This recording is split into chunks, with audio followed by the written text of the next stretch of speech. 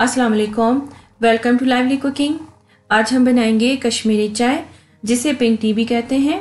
जैसे कि आजकल सर्दियाँ हैं तो सूप वगैरह या फिर चाय बहुत ही अच्छी लगती है इस मौसम में। तो आज मैं आपको बहुत ही क्रीमी, बहुत ही ज़बरदस्त कश्मीरी चाय बनाना सिखाऊँगी, जो कि हम कश्मीरी चाय के बजाय सब चाय की पत्तियों से बनाएँगे। इसके लिए सबसे पहले हमें ठंडा पानी चाहिए। अच्छी तरह से ठंडा किया हुआ पानी हम दो कप लेंगे, एक सॉस पैन में ऐड करेंगे। फ्लेम हम ऑन कर देंगे। पानी अच्छे से ठंडा होना चाहिए। ये पानी मैंने तकरीबन 40 मिनट के लिए फ्रीज़र में रख दिया था। तो पानी अच्छी तरह से ठंडा हो गया है। ये इसका मेन स्टेप है कि पानी अच्छे से ठंडा होना चाहिए। अब हम इसमें अच्छी क्वालिटी की सब्ज पत्ती शामिल करेंगे। तीन खाने के चम्मच। तीन खाने के चम्मच हम इसमें सब चाय की पत्ती यानी कि ग्रीन टी ऐड करेंगे। फ्लेम को हमने ऑन कर दिया है, जैसे कि आप देख सकते हैं कि इसमें उबाल आना शुरू हो गया है। एक अदद हम इसमें स्टार एनिस यानी कि बादियान का फूल ऐड करेंगे। ये आप देख सकती हैं, एक अदद हम इसमें ये ऐड करेंगे। और इसके बाद हम इसमें ग्रीन कार्डमम यानी कि सब्ज़ इलायची हम इसमें ऐड करेंगे। छोटी वाली जो सब्ज़ इलायचियाँ होती हैं तो आठ से दस अदद हम इसमें ऐड करेंगे।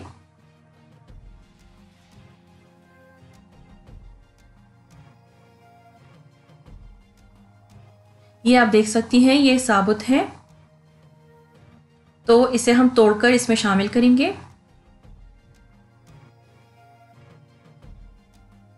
थोड़ा सा हम इसे उबालेंगे और इसके बाद हम इसमें मीठा सोडा यानी कि बेकिंग सोडा ऐड करेंगे। याद रखें कि बेकिंग पाउडर नहीं, बेकिंग सोडा हमने इसमें ऐड करना है। बेकिंग सोडा अब हमेशा आप अच्छी क्वालिटी का यूज़ करें, बहुत ज़्यादा पुराना वाला मत यूज़ करें। एक हफ़्ते, दो हफ़्ते, तीन हफ़्ते तक ठीक रहेगा। तो ये हम इसमें आधा टीस्पून लेवल करके इसमें शामिल करेंगे। मैंने वन बाय फोर दो दो दो मरतबा ऐड किया है। आ, टोटल मैंने हाफ़ टी स्पून इसमें अच्छी क्वालिटी का मीठा सोडा यानी कि बेकिंग सोडा ऐड किया है। अब हम इसे अच्छी तरह से उबालेंगे। इस तरह सब चाय की पत्तियों को हम उबालेंगे और इस तरह उछाल उछाल कर हमने इसे बॉईल करना है। मीडियम हीट होनी चाहिए। मीडियम हीट पर हम इसे अच्छी तरह से उछाल उछाल कर बॉईल करेंगे और हम इसे इतना पकाएँगे कि इसका पानी खुश्क होना शुरू हो जाए, थोड़ा सा ही रह जाए।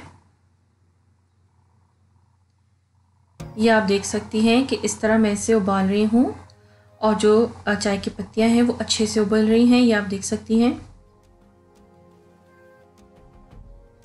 तो कुछ देर बाद ये इसमें से एवोपरेट होना शुरू हो जाएगा।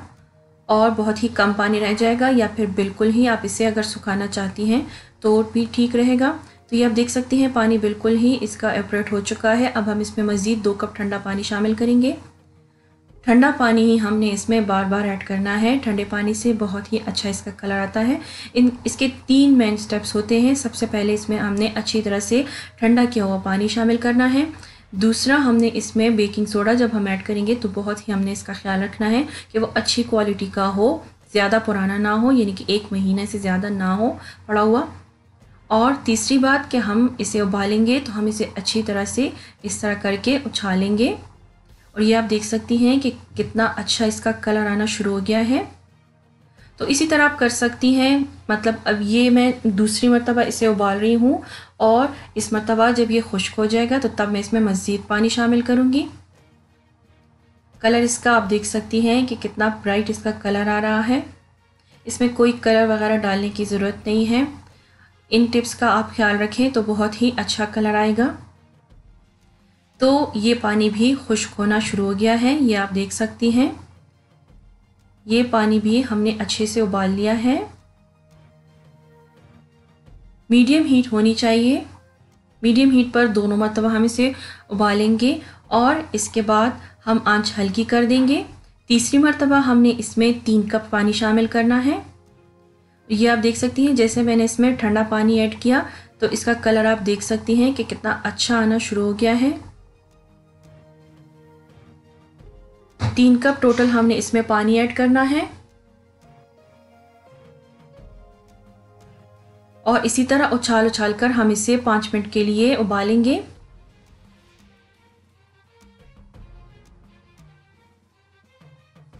ये आप देख सकती हैं, इस तरह हमने पत्तियों को उबाल उबालना है और इस तरह इस तरह का स्पून लेकर हमने इसे उछाल उछाल कर बनाना है।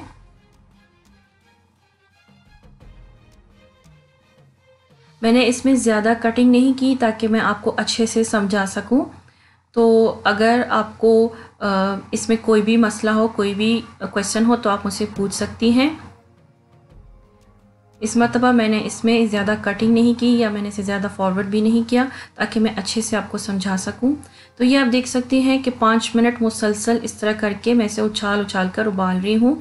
एक मरतबा आप ज़्यादा बना कर रख लें तो आपका ये एक हफ़्ता, दो हफ़्ता हफ़्ते तक चल जाता है। इस तरह आप चाय बनाकर यानी कि कहवा बनाकर आप रख लें और इसमें जब चाहें आप अपनी पसंद का पसंद के हिसाब से दूध ऐड करके, चीनी शामिल करके आप इसे पी सकती हैं। तो ये उबाल आ चुका है इसमें और पाँच मिनट के लिए उबल चुका है।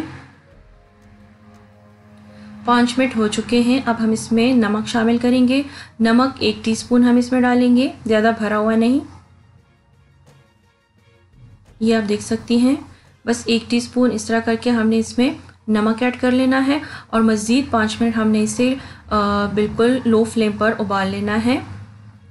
इसी तरह हम इसे उछालेंगे और पाँच मिनट बाद हम आँच बंद कर देंगे और इसे थोड़ा ठंडा होने देंगे। बहुत ही अच्छा कलर आया है, बहुत ही ज़बरदस्त कलर आया है। आप चाहें तो आप इसे तीन से चार मरतबा भी उबाल सकती हैं। तो अब हम ये चाय एक कंटेनर में डालेंगे। जग में कंटेनर में आप डालकर एयर टाइट में आप इसे रखकर फ्रिजर फ्रिज में रख सकती हैं। तकरीबन एक हफ़्ता या दो हफ़्ता तक ये चल जाता है।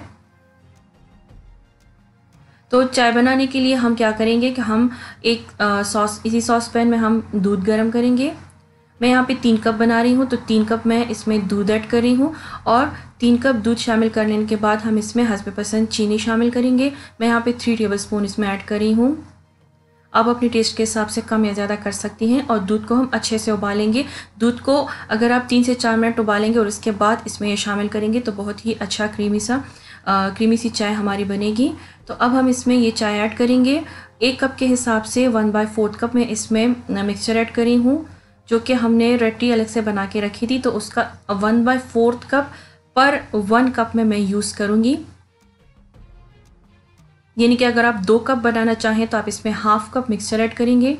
और ये आप देख सकती हैं कि कितनी ज़बरदस्त क्रीमी चाय हमारी तैयार हो रही है। दो से तीन मिनट हम इसे इस तरह उबालेंगे और इस तरह उछाल उछाल कर हम इसे कुक करेंगे ताकि इसके ऊपर जो ये झाँकसी है, ये आनी शुरू हो जाए।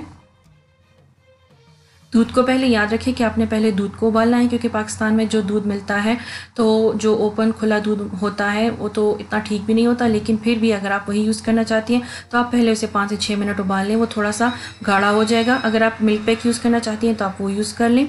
तो इसके बाद आपने इसमें ये जो मिक्सचर हमने बना के रखा था, वो आप इसमें शामिल करें।